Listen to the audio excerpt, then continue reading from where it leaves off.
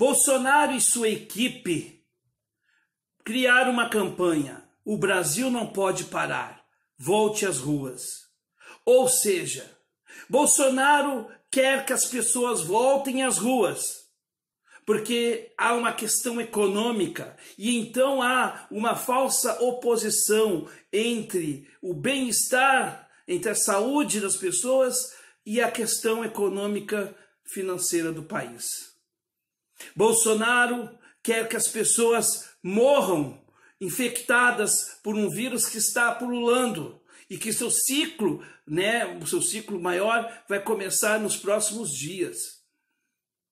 Bolsonaro é um irresponsável, é alguém que não respeita os ritos da presidência da República, porque nunca ocupou o cargo efetivamente de presidente.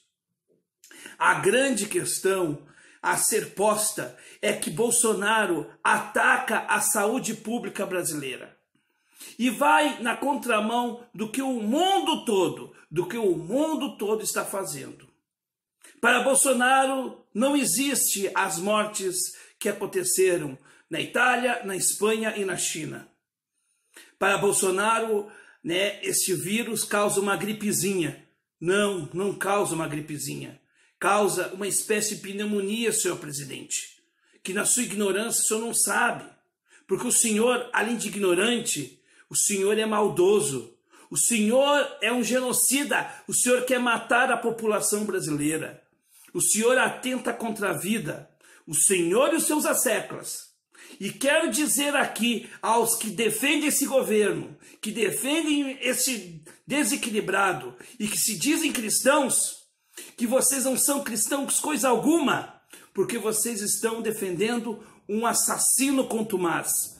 Bolsonaro é um assassino e tem que ser detido, seja por um laudo psiquiátrico, por um impeachment, por qualquer coisa. Porque agora, além de lutarmos contra um vírus invisível que tem causado tantos danos, né, enfim, nós agora temos que lutar paralelamente a, né, com a questão sanitária, a questão política de um presidente desequilibrado que não pode estar ocupando o cargo, o mais importante cargo da República o senhor Bolsonaro atenta contra a vida de todos os brasileiros. E eu, como brasileiro, como cidadão, como pagador de impostos, como homem de bem, não posso ficar calado perante esse desgoverno, perante esse desmandato, perante essa, esse ataque à vida humana.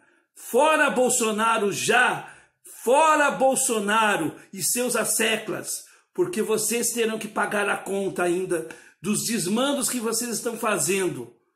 Fora todos vocês, porque Bolsonaro quer, é na verdade, o colapso do sistema de saúde. Bolsonaro vai se regozijar com as mortes, com as pessoas morrendo nas ruas. Este é o sonho desse doente mental, desse desequilibrado. E repito, quem apoia Bolsonaro hoje é tão ou mais criminoso que o próprio.